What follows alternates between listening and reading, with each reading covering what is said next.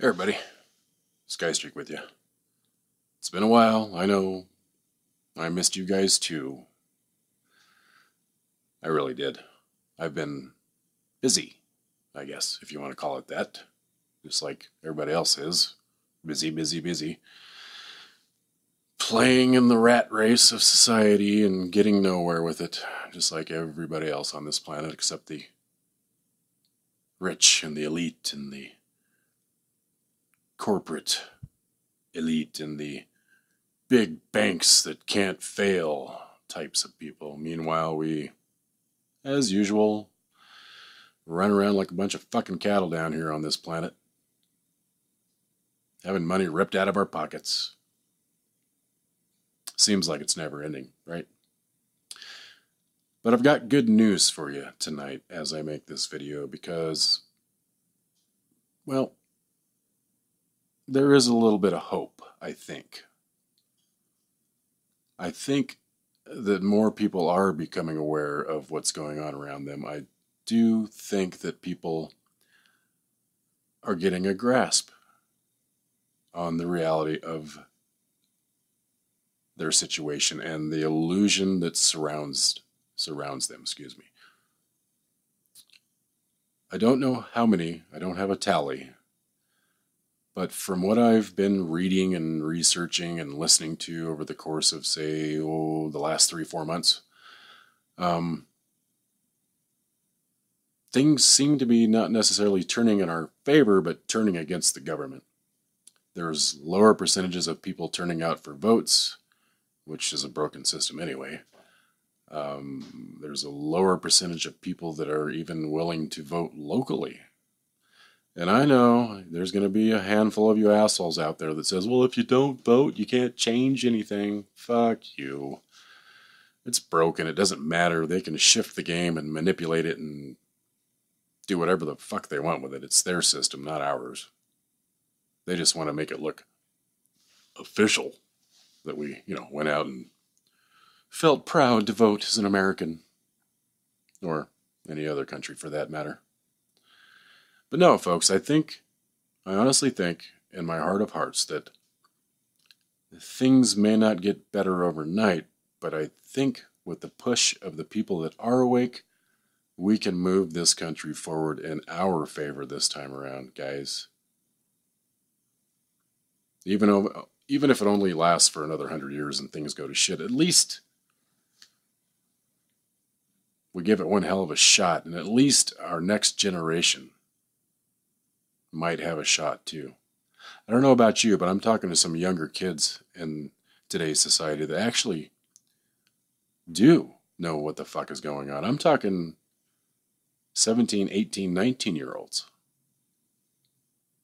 To me, that's surprising because it's very few and far between right now. But hey, if they know their shit and they can start communicating with the other kids that they know this could snowball.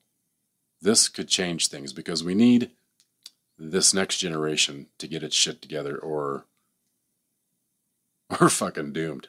Or I should say, they're doomed. Because on the track that we're on right now, folks, if we keep just doing what we're doing and just allowing things to happen and accept it as reality and the norm and legal, people will be going to FEMA camps. It's going to be like Nazi Germany all over again, folks. Don't kid yourself. Oh yeah, but it's it's modern technology. Who cares? Now they have the modern technology to to enslave you even more conveniently. Okay, fingerprints, eye retinal scans, just you know, it's it's going that way. Barcodes. They want to control society for the betterment of the empire, the oligarchy, the administration, whatever the fuck you want to call it. Throw a slap another fancy word out there. I don't care. It's all the same thing. They made money and took all the power and the wealth through making us slaves, folks. And a lot of people just aren't going to fucking deal with it anymore. They're just not. And if we don't stand together, at least in voice, not protest, but at least in voice, to get this ball rolling, then we'd have a pretty slim chance, I think. But think positively. You know, don't dwell on the media. Please don't do that because that'll get you nowhere. Wolf, spritzer, blitzer. They all get handed a script, and it's not the real news. And no, you can't believe everything that's on the internet. But if you research deeply enough, you can. So keep your wits about you. Watch what's going on in reality. Move yourself away from the illusion for a little while, folks. Just step back and observe humanity right now. Just just take a day and just walk around uh, your day-to-day routine instead of looking at your iPhone. Just observe humanity. When's the last time you held the door open for somebody and they said thank you? Hmm.